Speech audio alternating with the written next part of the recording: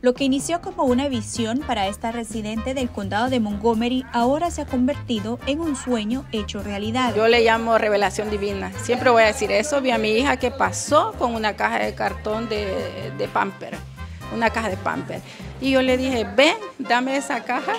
Y yo dije, voy a hacer una piñata y ahora no solamente es una exitosa empresaria, sino también una maestra quien comparte su conocimiento para que así como ella, otras mujeres puedan establecer sus propios negocios. Ustedes ven cada una de ellas está emprendiendo su propio negocio y, para sobrevivir, ¿no? para ser unas personas que se sientan mejores, realizadas. Liderado por la organización sin fines de lucro Impact Silver Spring, durante más de 10 semanas, Mujeres latinas se hicieron presente en el taller de piñatas realizadas en Wheaton. Todos los cursos son gratis gracias al financiamiento que Impact Silver Spring recibe del condado y de otras organizaciones este, podemos hacer este trabajo con la comunidad. Yo la verdad estoy muy contenta por estar en este programa, he aprendido muchísimo y no sé, la verdad a mí esto me encanta, lo que es manualidades, yo soy muy feliz haciendo esto.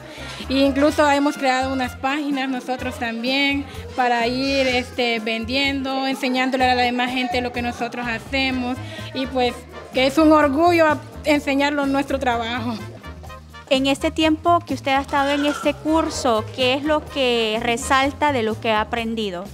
En hacer varias figuras de piñatas en diferentes ah, procedimientos que se usan como el cartón, cartulina o todo que pueda uno hacer manual. Por eso estamos utilizando este globo para que se forme la sandía. Pero después sacamos el globo y ya sacamos la forma de la sandía. En este mes de mayo, este grupo de mujeres inmigrantes concluyen el curso que les ha dado las herramientas para abrirse el camino como comerciantes y vender sus propias piñatas. Aquí vinieron de cero para la clase de piñatas y ahora ya están vendiendo 35, 40 dólares una piñata. Sí, he tenido bastantes pedidos de piñatas, eh, a Hello Kitty, el unicornio, eh, acabo de entregar ahorita el sábado a Mickey Mouse, eh, pero todo manual porque no fue impresión. Para muchas de ellas, estos talleres también han sido una fuente de distracción y apoyo emocional que tanto necesitaban.